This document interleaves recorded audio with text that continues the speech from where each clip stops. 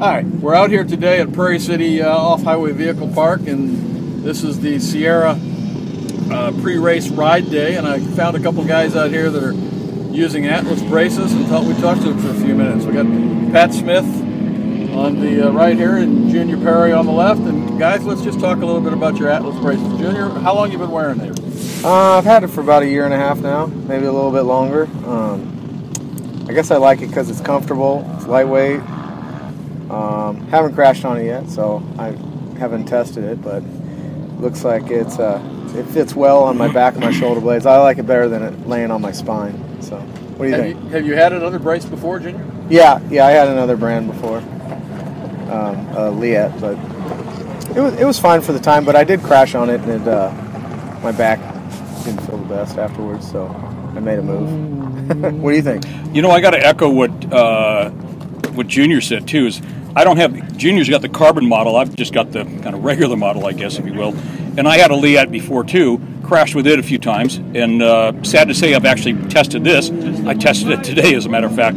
It's like crashed during the last practice. I saw the dirt on your arm. yeah, yeah, not a, not a good over the bars uh, event by any stretch. Hey, anytime you lawn dart and you get away with it, walk away, it's, it's, all good, right? Win. Yeah, so I, I'm glad I had it on. Yeah. I bunged up my shoulder a little bit, but um, but I'm glad I had the brace on it. Yeah. No, you know, no neck issues. Uh, so, Yeah. you know, like I think Junior was saying too, you don't even notice you're wearing this thing. It's Yeah. just so lightweight. It fits. It floats.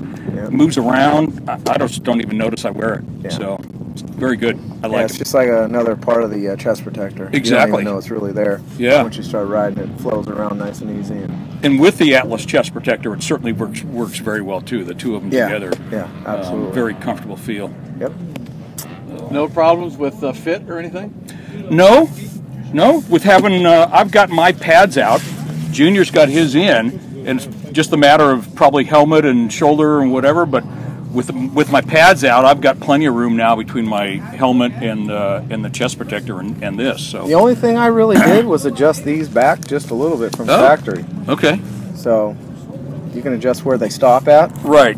Oh yeah, And- yeah. The going backwards. Yeah, I Sure. had mine stop a little bit later, so it'd slow down a little bit. Okay. So that's about it. Yeah. I felt that I wanted it on my shoulders more than anything else. Mhm. You know, for that Y- impact. oh, absolutely. And I wanted these to rest solid on my body. Yep. Before this did. Yep. Yep. Yep. So Now that you've been wearing the braces for a while, guys, would you go back to just shoulder pads? no, No.